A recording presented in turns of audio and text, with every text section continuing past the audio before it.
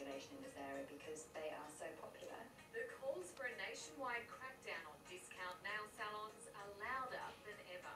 It's really quite dangerous if you think about all the things that can go wrong. From the latest victim speaking to a current affair today. I don't know if this will ever heal. To the long line of past ACA viewers who needed our help after becoming victims of budget beauty bars. I can't uh, wash my hair, I can't touch anything without gloves on.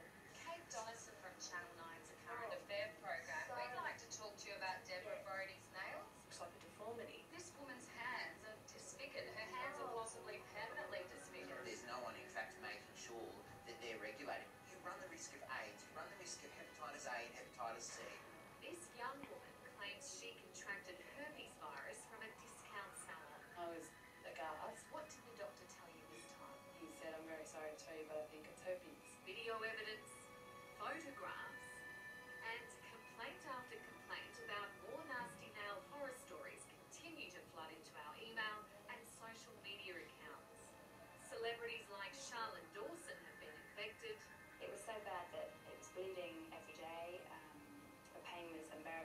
New mum Caroline Lamb has her own horror story. Started to get some swelling in my feet. That was back in January, and today, eight months later, there's no end in sight to her pedicure pain despite prolonged medical treatment. There just seems to be nothing I can do to